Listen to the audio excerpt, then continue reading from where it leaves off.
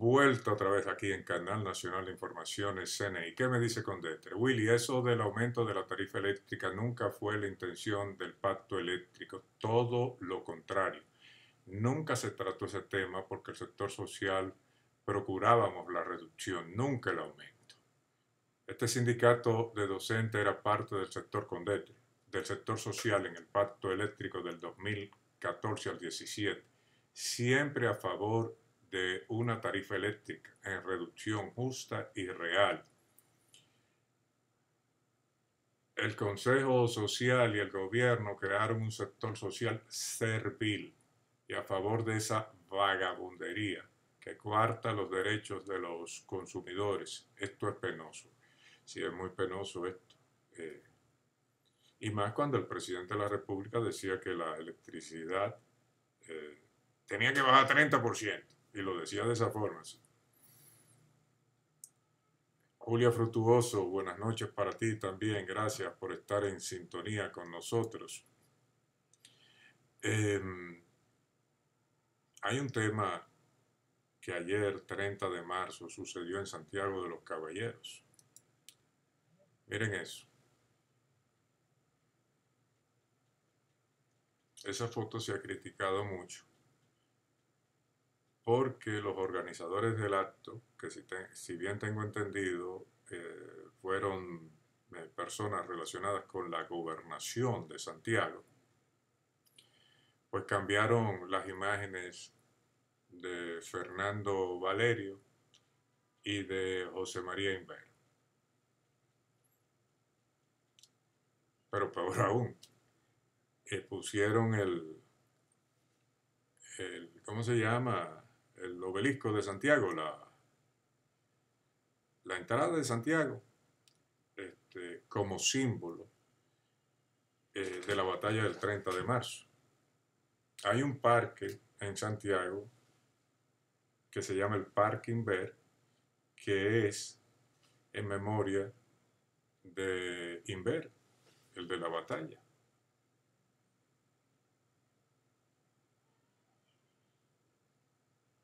Ese, eh, esa obra que representa a Santiago, el que vea a Santiago lo va a ver, eh, no tiene nada que ver con la batalla de Santiago. Eh, se hizo en 1944, 100 años después de la independencia, en tiempos de Trujillo, en memoria de la gesta restauradora y allá pusieron al presidente de la República a pasar vergüenza, porque fue al acto y usted no le puede pedir a Luis Abinader que sepa los pormenores. Él va, eso tiene que estar montado. Eh, no sé si se dio cuenta o no, pero eh, lo hicieron pasar un chasco. Eh, el presidente estuvo en Santiago con motivo de la batalla del 30 de marzo, este, dio el primer palazo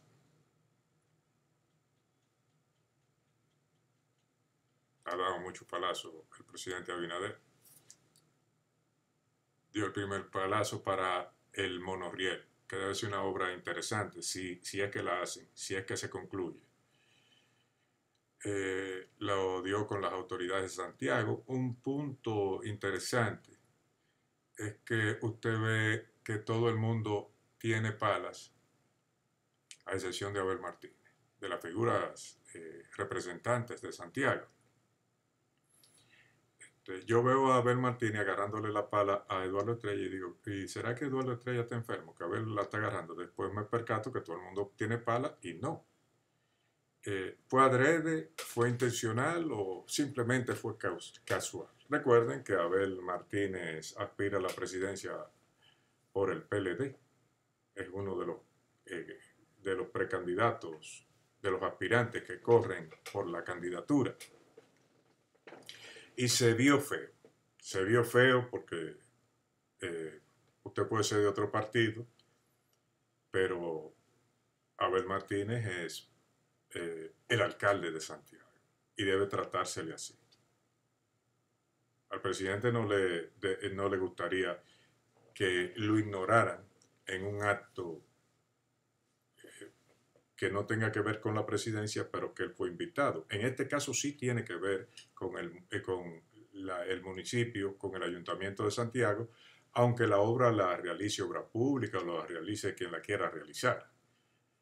Eh, también noté eh, al presidente Abinader como lejano a, ver, que estaba como huraño ahí, como, como que no estaba en sus aguas.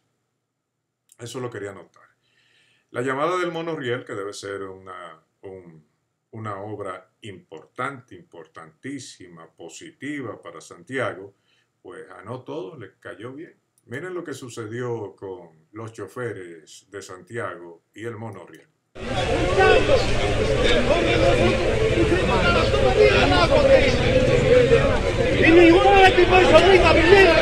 Dime, dime, ¿qué es lo que está pasando? Por aquí hay un atropello que quieren a nosotros a nuestra inversión. A más de 40 años de trabajo que tenemos aquí. Le estamos pidiendo que queremos que el presidente sepa que no estamos de acuerdo, porque nosotros no se sentado nadie. No paramos, no paramos el progreso del, de, de, de Santiago. El pueblo de Santiago Este, estamos de acuerdo, pero hay que hablar con nosotros. El trabajo que tenemos aquí por más de 40 años, nuestra inversión, hay que resarcirnosla de una forma u otra. Porque la constitución a nosotros nos respalda, nos apoya. De cualquier manera, ellos tendrán que sentarse con nosotros. Para nosotros poder defender los derechos de que ha hecho falta aquí Bien, eso por un lado, ellos no están diciendo que no construyan el monorriel, sino que lo incluyan, que lo incluyan no sé qué, que lo reubiquen, me imagino que. Eh, otro que protestó fue este. El presidente tiene que tomar en cuenta nosotros de la Ruta 27 de febrero, que estamos trabajando más de 40 años aquí, dando un servicio al pueblo y a nosotros nos hemos tomado en cuenta, nos han pasado por arriba y nosotros tenemos derecho al, progreso también.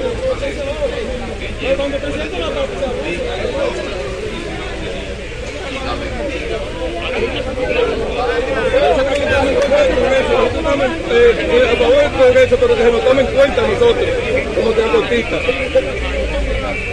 Que bien con lo que estamos viendo, porque estamos viendo. Nada más hay que darse cuenta, cuando la policía llega aquí, tenemos que echar una bolsa de todo.